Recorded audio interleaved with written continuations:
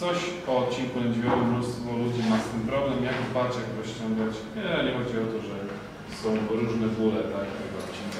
No tak, to oczywiście jak zwykle nie można mówić o konkretnych przypadkach, no bo to w ogóle nie wchodzi w Tak, tak. Natomiast jasne, ja pamiętam takiego Izraelczyka, który powiedział, stawy kręgosłupa, czy odcinek lędźwiowy, piersiowy i tak dalej, powinniśmy traktować jak każdy inny staw. Powinniśmy go mobilizować.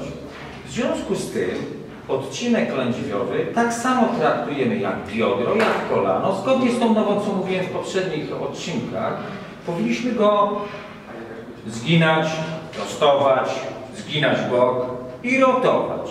Pasywnie, prawda? Nie aktywnie, a pasywnie. Oczywiście stara koncepcja jest, znaczy stara, też bardzo logiczna, że dbanie o odcinek lędźwiowy polega na rozciąganiu i mobilizacji piersiowego i stawu biodrowego. Więc im bardziej mobilny staw biodrowy i odcinek piersiowy, tym łagodniejsza mi wychodzi praca w odcinku lędźwiowym. Powiedzmy, że ruch w tych trzech odcinkach to jest 100%. Ok, tu mamy 100%. No to im więcej ruchu, tutaj 40, tu 40, to tylko będzie 20%. Więc to jest jakby klasyka. Natomiast oczywiście rozciąganie. Jak się przygotowywałem trochę do tego dzisiejszego naszego wspaniałego spotkania kwadratowo-rocznickiego, to sobie przypomniałem 2004 rok i z pierwszą koncepcję jakby zaznajomienia każdego klienta, że, że odcinek lędźwiowy jest ruchomy. I przypomniałem sobie ćwiczenie, którego dawno nawet nie stosowaliśmy, ale od czasu do czasu. Magil. Nie, to jest boiler. Boiler. Czyli ok, jeżeli ktoś siedzi na piłce i uczy go, to było sformułowanie wylewam wodę w przód lub wylewam wodę w tył. Prawda? Wylewam wodę w tył, mam tylne pochylenie miednicy, kręgosłup mi się ustawia w zgięcie. Mam przednie wylewanie wody, mam wyprost. I to jest pierwsze uświadomienie pacjentowi, że ma odcinek lędźwiowy No, ciężko, ruchomy. ciężko jest e, wewnętrzną wskazówkę dać. właśnie Więc mówię, to wylewanie wody mi bardzo pasuje. Oczywiście jest też ćwiczenie kat, prawda, na czwartym kwadrat position. okej. Okej, no i jest ćwiczenie, prawda, to. To też może być od czasu do czasu stosowane. To tak jak mówię pod kątem takiego pierwszego strzału, żeby w ogóle uruchomić. Natomiast jakby idąc z koncepcją e, taką bardziej no, agresywną czy sportową, to zdecydowanie mobilizacja odcinka lędźwiowego. Przyjmijmy sobie, co prawda, absolutnie świat nie idzie w Mackenzie'ego, mówię o leczeniu kręgosłupa, nie jest to dzisiejsza koncepcja, ale taka jeszcze cywilizacyjna foczka z dłońmi w taki sposób i wpychanie miednicy, okej, tylko to jeszcze raz, bo to nie jest aktywne ćwiczenie, nie jest to aktyw, tylko to jest pasywne. To jest, to jest wielka różnica. Co innego odchylać się, a co innego pasywnie pójść w górę. Czyli to jest ok. Tu sobie rozciągam przednią powieść, a tu sobie usprawniam wyprost w odcinku lędźwiowym. Teraz drugą rzecz, którą sam często stosuję ze względu na uruchomienie prawidłowe i wykonanie skłon w przód. Jest tylko, teraz sobie przypomniałem, bo to nawet o tym zapomniałem rano dzisiaj, jak się uczyłem. To ćwiczenie mogę robić o 8 AM, czyli o 8 rano. Ale skłonów przód o 8 rano nie robimy. To kiedyś było jasna sprawa, chyba nie warto o tym przypominać, skłonów przód o 8.30, tak? Tak, no dobra.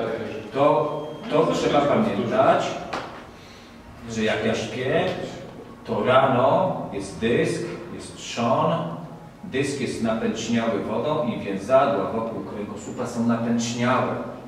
Najpierw muszę sobie z 30 razy podskoczyć, sklepać dysk, rozluźnić więzadła i dopiero wtedy można robić skłon w przód. Ok, to jest takie tam już e, no, jakby klasyka takiego podejścia. Ale jak, jak patrzę na skłon w przód, prawda? Mamy rozciąganie czy, czy wyprost w odcinku lędźwiowym poprzez tego odwróconego takiego sfinksa, trochę z jogi, ale nie tylko z jogi funkcjonalnego takie ćwiczenie, tak również skłon w przód jest ćwiczeniem, które rozciąga tylną powieść. Tylko jak stoję sobie prosto, i tu nawet pokażę z ketlem, no u nas czasami 12-16 kg, raczej nie więcej, to trzeba tylko o jednej rzeczy pamiętać. Jak idę w skłon w przód, to najpierw muszę wykonać ruch w stawie biodrowej. Hinge. Hip hinge. Dopiero jak idę pod koniec zakresu ruchu w stawie biodrowym, jestem blisko kąta, różnie u każdego, jest to funkcjonalnie można ocenić, ale blisko kąta 90 stopni, włączam odcinek lędźwiowy i dopiero na samym końcu odcinek piersiowy.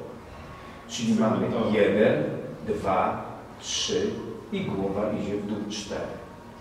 Trzymam to i to prawidłowa jest y, mobilizacja tylnej powięzi. Pokażę tu Wam jakby tu nawet jak to ćwiczymy. Stopa, stoję, stoję, dłusko, ok. Tak, tak, kettle.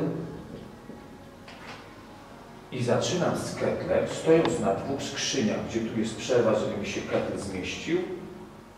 Wchodzę powoli, powoli, stopy pracują, idą biodra, biodra, biodra, koncentracja. Mam pełen hip hinge, jestem w kącie około 90. Włączam lędźwia, lędźwia, lędźwia, klatka, klatka, klatka, głowa. I kettle, jeżeli ktoś jest sprawny, to jest dużo poniżej poziomu.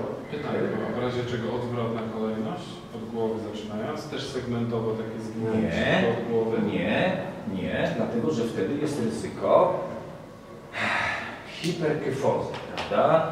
To patrzymy, biurowy facet, oderwany od biura, robi albo to, uruchamia odcinek piersiowy, bardzo mocno idzie odcinkiem piersiowym, nadwyrężając go fleksyjnie Mhm. i nie wykorzystuje pozostałych stawów. Dlatego nie rozpoczyna się. Najważniejsze są biodra i generalnie skłon powinien być z jak największej ilości bioder wykonanych, lędźwia lekko zaokrąglone, klatka lekko zaokrąglona, głowa. Ja przesadzam tu, ale tego typu skłon powinien być. Im większa ruchomość w stawie biodrowym, znowu, żeby nie mówić o hipermobilności, ale generalnie biodro, biodro powinno być tym pierwszym segmentem, o właśnie, tu kość krzyżowa ładnie mi się układa, jest miodzie i znowu ja się obracam nie na stawie biodrowym, tylko obracam się na guzie kuszowym. Biodro jest niżej, biodro jest tu, prawda? A guz kuszowy jest na samym szczycie. Stąd bardzo fajnym jest i stąd ja powiem jeszcze o takie fajne rzeczy. Zobaczcie, tu się zgłaszają ludzie z jogi, to mamy psa, prawda? Z głową w dół. Bardzo dużo ludzi z jogi, początkujących, zgłasza problemy i bóle w tej okolicy, w okolicy kości krzyżowej. Bo co się dzieje? To jest za prześcianiem, tak? Tak, bo idą tylnym pochyleniem. I co się dzieje? Kość krzyżowa idzie najczęściej im w kontrmutację i przykluczają więzadło krzyżowo-guzowe. Stąd mobilizacja, rozciąganie więzadła krzyżowo-guzowego bardzo ułatwia pchnięcie miednicy, bo tu muszę pchnąć miednicę w przednie pochylenie. Dopiero wtedy jest to jakoś prawidłowo zrobione. W tej pozycji to się robi. Rozciąganie więzadła? Nie, rozciąganie więzadła trzeba inaczej, dlatego że zobaczmy to, więzadło krzyżowo-guzowe, jakby znowu jakby schematycznie rysować, to jest kość krzyżowa, jest bardzo, i tu jest guz kruszowy, i tu jest dwugłowy, to więzadło krzyżowo-guzowe jest bardzo gruby, bardzo grube. I teraz, jeżeli ja mam ciasne, grube więzadło krzyżowe, dwugłowy, trójgłowy, to jeżeli ja się łamię tu, prawda, widzisz teraz, łamię się tu, to wszyscy czują rozciąganie tu, a nikt nie czuje tu, dopiero jak się na maksa pójdzie, dlatego że to jest grube, to się w ogóle nie rozciąga. I teraz to ciągnie ten punkt w tył, prawda, bo jest grube i skrócone i idzie tylne pochylenie na tym więzadle. Okay? Nawiązane krzyżowo-guzową. Idzie kąt krzyżowa, kość krzyżowa idzie w kontemplacji i zaczyna mieć batwinkę.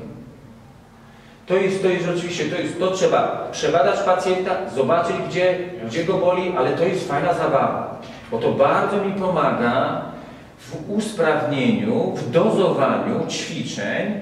Bardzo dużo się opieramy na jodze, ale nie jodze jakiejś medytacyjnej, tylko jak to się spotkałem z nazwą yoga akademicka, czyli wyrozumowana, evidence-based, czy yoga e, odarta z tej te ćwiczenia jako funkcjonalne, pod sport, pod zdrowie, czy to będzie pies z głową w dół, czy coś inne, byleby był prawidłowo biomechanicznie wykonany, a czy to będzie wzięte z jogi, czy z kwadratów, czy z Olsztyna, bez znaczenia, nie? Bez znaczenia. Byle było mądrze, byleby się trzymało zasad, o których my teraz, teraz mówimy.